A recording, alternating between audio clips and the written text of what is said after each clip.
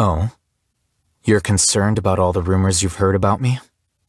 Don't bother, because I don't care whether you believe those rumors. Just don't throw extra trouble my way, and we'll be fine.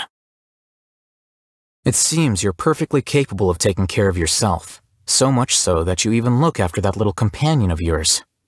I don't have any suggestions to offer you, and frankly, you probably don't need my help. To be completely honest, this Dendro Vision isn't of much help to my research. However, there's no denying the effectiveness of elemental powers when settling a physical dispute, so it still proves useful at times. One should neither dismiss nor overly revere the divine. Gods require followers, and they are also part of a biological hierarchy. That's why I don't take any pride in the fact that I helped rescue a god. I hope Lesser Lord Kusanali doesn't take offense. Kaveh tends to be overly sensitive about everyone and everything he crosses paths with, and he's constantly making a fuss about nothing. Hmm. Maybe it's because he's too emotionally fragile.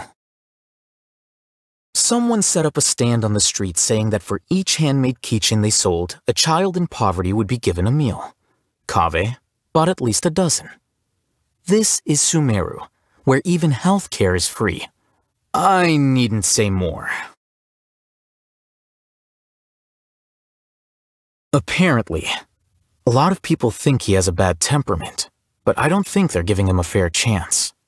When Kaveh built a house right over a withering zone and created a huge mess, it ended up being a real headache for the forest rangers. Even so, this forest ranger didn't hold it against Kaveh. He even invited Kaveh to his house for a meal. Hmm, maybe it's good people like him who allow people like Kaveh to survive. She's sharp and always keeps an eye out for herself. She knows how to take life by the reins and make her dreams a reality.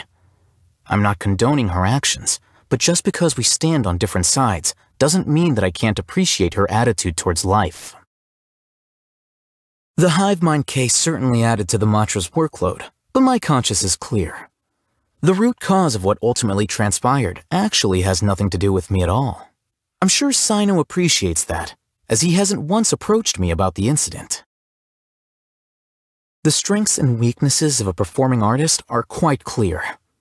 Nilou knows how to play to her strengths, which enables her to live a happy and simple life. It's a waste for such a capable person to remain among the Eremites. If only she'd consider my suggestion to join the academia. Our work would become a lot easier with someone like her around, but a predictable life isn't exactly her cup of tea. I can understand that. What a pity. I've never been interested in social interactions, and as you can see, my life is more comfortable than most. I'd say this is proof enough that being social is not one of life's necessities. Every person should have something that they believe in and hold on to from beginning to end. Otherwise, it's easy to succumb to vicissitudes of life and find yourself being led astray. Once order is disrupted, the consequences spread like wildfire. I'd like to avoid such a scenario, so I can keep my life intact and uninterrupted. I'll occasionally go to the tavern for a drink after work. That's not what you needed to know about? Huh. I was under the impression that sharing what you do in your free time is more personal than telling someone your thoughts or opinions. After all, you can get those from anybody on the message board.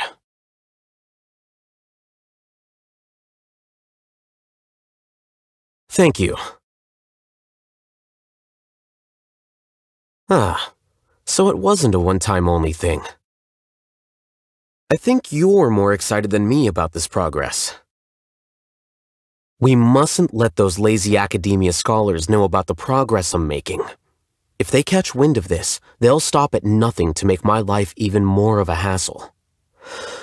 I'll reject anything they send my way, of course, but the communication required to do so is a huge waste of my time.